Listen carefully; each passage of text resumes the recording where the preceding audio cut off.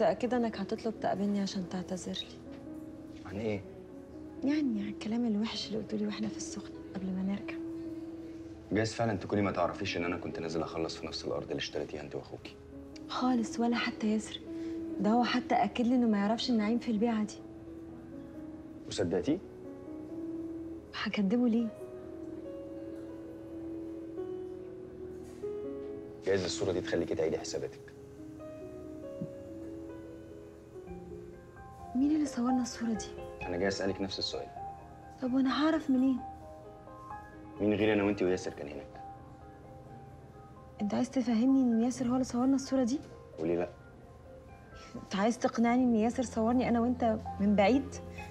إزاي ده كان منزعج جدا وقعد يقول لي إيه اللي جاب عيسى هنا وشغل إيه وما كانش مصدق إنها كانت صدفة وفاكر إن إحنا مدبرينها سوا هو كان لازم يعمل كده وإلا هتشكي فيه لا معلش يا عيسى أنت دماغك راحت لبعيد قوي المرة دي. اللي صورنا الصورة دي بعتها لنعيم علشان يرفدني من عنده. وفي نفس الوقت بعتها لسارة عشان تتخانق معايا. مين بقى غير أخوكي من مصلحته يعمل كده؟ أنا مش قادرة أصدق إن ياسر ممكن يعمل حاجة زي كده. يمكن بس تقدري تتأكدي.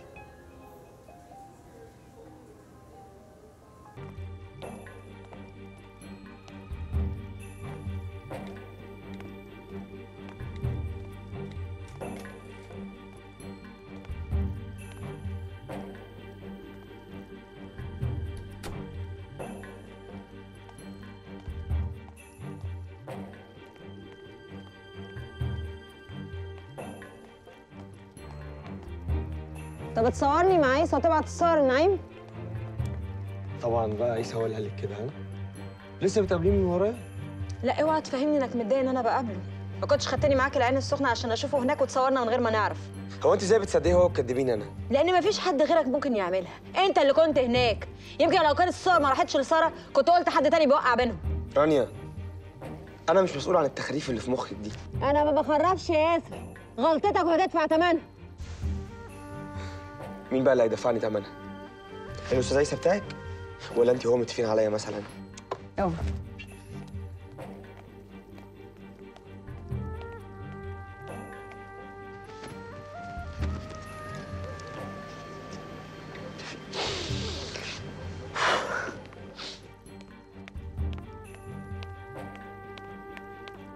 هو في إيه؟ أختك مالها؟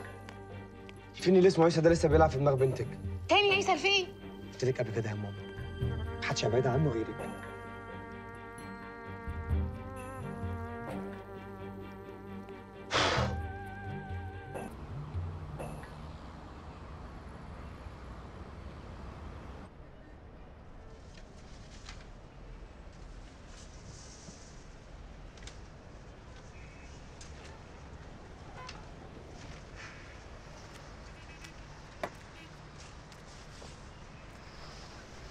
قاعد لوحدك ليه؟ ما تخافيش يا ستي مش بادئ عليكي ولا حاجة. لا ما هو أنا أنا منصور حكالي وقال لي إن ياسر هو اللي لعب اللعبة دي كلها علشان يخليك تسيب الشغل عند نعيم وعشان أسيبك أنت كمان. بعت لك صورتي مع رانيا عشان تتخانقي معايا. هي رانيا دي هي سبب كل المصايب دي. رانيا اتضحك عليها. ما كانتش تعرف إن أخوها ممكن يستغلها بالرخص ده هو أنت ليه بتدافع عنها؟ يعني ليه مش عايز تقتنع إن رانيا دي كمان عايزانا نسيب بعض؟ بحيث رانيا وياسر هما الاتنين بيلعبوا على وتر الفقر اللي أنا وأنت غرقانين فيه. ودينا بنحاول نطبش عشان نوصل لأقرب شط وبرضه مش عارفين. طب أنا ربنا كرمني ولقيت شغلانة عند ميمي. انما أنت بقى متخانق مع نعيم.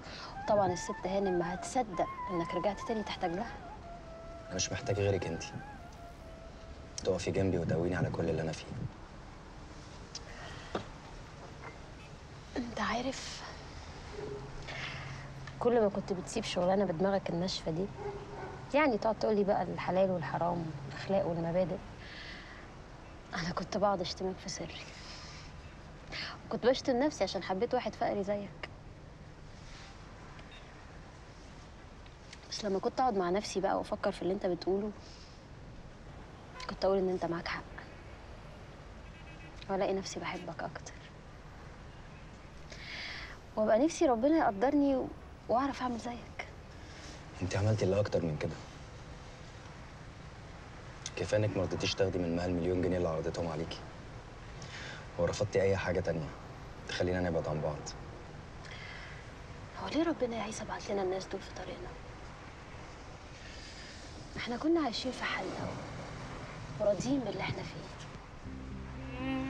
ربنا بعت لنا الناس دي في طريقنا علشان نعرف إحنا بنحب بعض قد إيه. وهم مستخسرين فينا حبنا اللي ما حالتناش غيره. مش مهم هما المهم إحنا.